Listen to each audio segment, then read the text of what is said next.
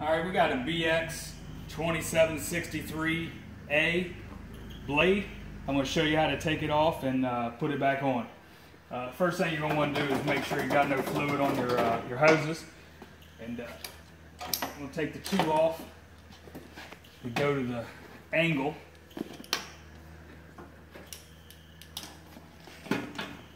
Then you got your pins down here, your linch pin. You have a handle.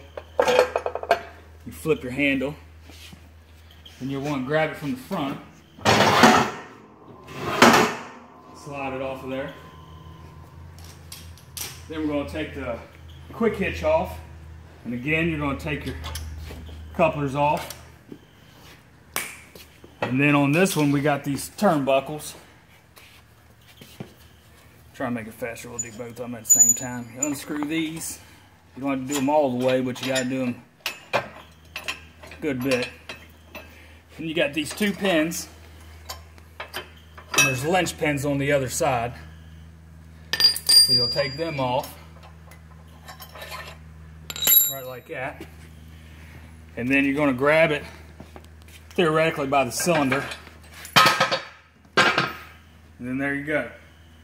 And then we'll put it back on.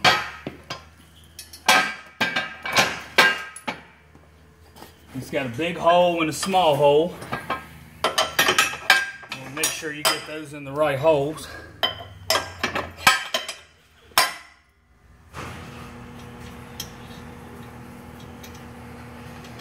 Put your linch pins back on on this side. Tighten your turnbuckles, your little T-handles up here. And that draws it into the frame.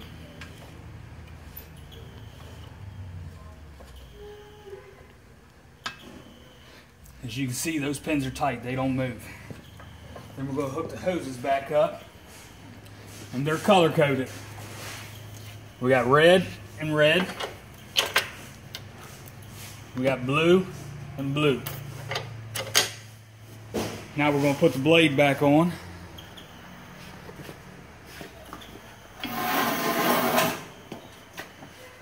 Sometimes with the blade you'll have to take your handle and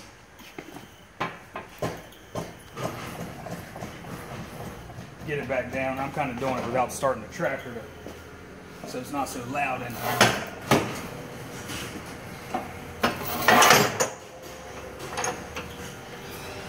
Flip your handle there.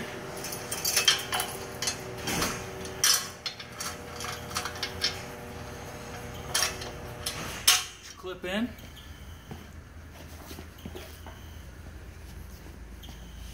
And just like those, these are color coded too. Green on green, yellow on yellow.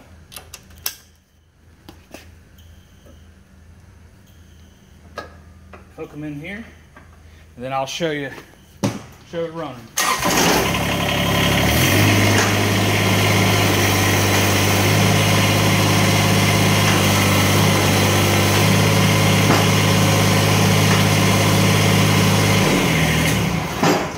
This thing does have um, these pieces right here that you can stick into this spot right here. Then it'll make it a dozer blade.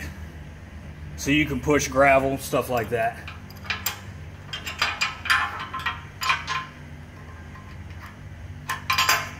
And then that's it. That's a BX2763A on a BX2370.